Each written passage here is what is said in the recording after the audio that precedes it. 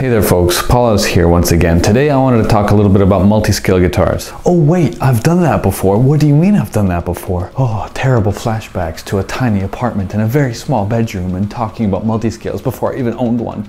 Little did I know that multi-scale guitars were gonna save my life, basically. Yeah, it sounds really over dramatic, doesn't it? But that's basically what ended up happening, right? So Picture this, I get told I have to perform at NAMM and I only have so many songs I can perform from my catalog that are in standard on a seven string. So I pick up my great seven string, my 070 from Aristides. I'm an artist, I'm an artist, baby, yeah! I start practicing, I start to put in the work and in one moment, there's just this crazy amount of pain in my hand and I get tendonitis and I start to panic. And uh, even before this, it was already coming up as an issue. And, and I had to stop playing guitar basically for weeks and weeks and weeks. And, and I've addressed tendonitis in a previous video, of course. So this is all a, a concurrent theme in terms of a series of videos here. But how the hell would a multi-scale guitar save my life rather than just playing regular old six string tuned down? Let me tell you, bub. It's a lot more important to me to play a multi-scale now than it ever has been before. And I like Floyd's. I like bridges that go woo but like, I mean, I just don't write that much music with them, so I don't have to use them. There's the trick. What's the point with multi-scales? Well, let me tell you. The tension. Tension is everything on the guitar. Tension is what makes the notes sound good, sound bad, sound delightful, sound really like oh, painful sometimes. You know, tension is what it's all about. And in this case, it's string tension because like you need the right amount of tension to get to that pitch. You need to intonate the guitar string so that it will be even across the board and all that stuff. And on a straight scale guitar, it's not going to be as fundamentally good for your hands, I would say, from a therapeutic point of view, as a multi-scale. So right next to me here is my Aristides 080S, which I believe is 25 and a half to 28 inches, which is like pretty sizable. It might be a little less, might be a bit more. I, I don't exactly remember. It might even be 26 and a half to 28. But I have some really light strings on the top and an 80 on the bottom because this is currently an F standard, which is like eight string tuning down half of steps, so like E flat standard. Yngwie tuning, and there's a good reason for it. There's good reason for this multi-scale. There's a reason why I keep on coming back to this guitar and not to other guitars. It's because it doesn't hurt my hands, man. Tendonitis is something so debilitating that like I, I I can't work out and play a 26 and a half inch scale guitar, you know, because the, the, my hands just, and you can blame improper technique as much as you want, but my hands are a lot more fragile than they were when I was 16, 17 years old, pulling in those six hours a day, practicing my ass off to get good at this thing. So think about it like this, multi-scales ended up saving my hands. I was practicing and recording with this guitar before the Neural DSP demo that I did at NAMM and I was able to get through all of it no problem. The only thing I have an issue with currently is like legato is a big challenge. I don't want to overextend myself and overdo it with my left hand because I just know that I'm going to screw up my shit.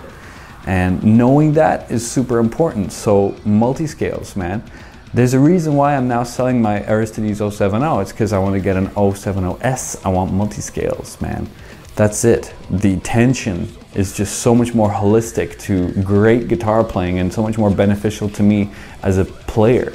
You can obviously tune down a lot more easily. You can you can use whatever string gauges you want, man. Do whatever you want.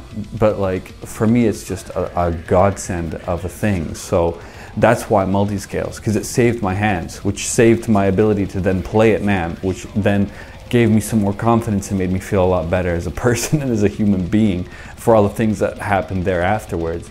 Now I have this tour coming up with Nightmare and I'm really excited about it and I'm playing with a multi-scale guitar. You will not catch me playing straight scales live if I can help it because it's just, unless it's a six string, oh man, you're gonna have to really, really pay me a lot of money to play a non, a non multi-scale guitar now because it's just, it just makes way too much sense for my hands and for the longevity of my career to start playing multi-scales. Now, you might not have the funds for a guitar that's like 3,000 euros or whatever, but like I would argue that getting a really high-end, super high-end six string or seven string or eight string if you get it as a multi-scale, you won't regret it. Go and try one out and, and see for yourself what starts to happen with your technique and with your hands. I always try to practice with the least amount of tension as possible, but this was like, this was such a game changer, folks. Like, I can't even tell you. I can't even tell you. The only thing that's pissing me off is I really want some Fishman slanted pickups for my 080S here, because that would be really fun to have, but they don't do that. So, wow, one day, hopefully, maybe.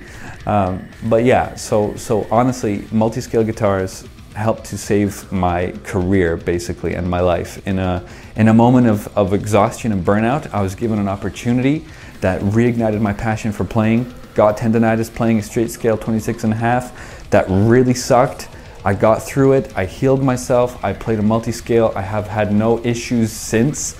And I mean, what else can I tell you folks? It, wh whether you're going for a cheapo multi-scale or an absurdly priced multi-scale or a mid-range, doesn't matter.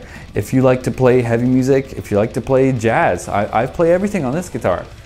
Blues is incredible on this instrument. Death metal is incredible on, in, on this instrument. The point is, is, is uh, you pivot your, your mentality a little bit. Just because the frets aren't straight doesn't mean anything. They're, they're going to be helping you out so much more than just uh, better intonation for your pitch of your low ass tuning if you're in a deathcore band. No, man it's quite literally all about just like being able to continue to play. It's just, it's miraculous. And, and a lot of people have been like, well, you can just lighten the gauge and lighten the gauge. Yeah, but, that, but I'm not gonna do that on a 26 and a half inch scale guitar. I, I need it to sound right. And if it can't, if, if it's sounding right causes damage in my hands, forget about sounding right. I just want to be able to play guitar, man. This is my favorite thing to do. I've spent 15 years doing it. I plan on spending at least another 15, 20 years doing it. So in terms of a holistic approach to the guitar and a better longevity kind of approach to the guitar, I would highly recommend trying any multi-scale you can get your hands on. If you have a buddy who has one, ask to play it for 20 minutes. Try to get used to it and see how it starts to benefit your hands. For me, it's all, again, about tension and about making sure that the tension's right for your hands. And straight scale guitars are not cutting it for me at all anymore. And as someone who has suffered from tendonitis uh, three times, I think now, it's really a game-changing kind of thing. And I'm only beginning to appreciate it now after the third time of tendonitis where I'm like, what the hell is actually going on in my hands? Why is this happening to me? And I'm realizing it's just bending sometimes just as, oh man, does it suck. Anyway, that's all for now, folks. This, this little episode of Paul Oz Talking Not The Camera is brought to you by uh, really appreciating the fact that I can continue to play guitar. if you like this video and if you want to see more content like this, please don't forget to subscribe, hit the notification bell, and share this video if you found it to be helpful or insightful in any kind of a way. I appreciate it, and I'm sure that if you appreciate it, someone else could appreciate it. And I'm on the road to 10,000 subscribers this year, 2019. I want to make it happen. 19 is my lucky number. Let's make at least 10 10,000 subs on this channel. Why not? Let's do it. Yeah, so all the best. I've been Paul Oz. You've been great. Thank you for watching until the end. All the very best from the Pacific Northwest. Cheers.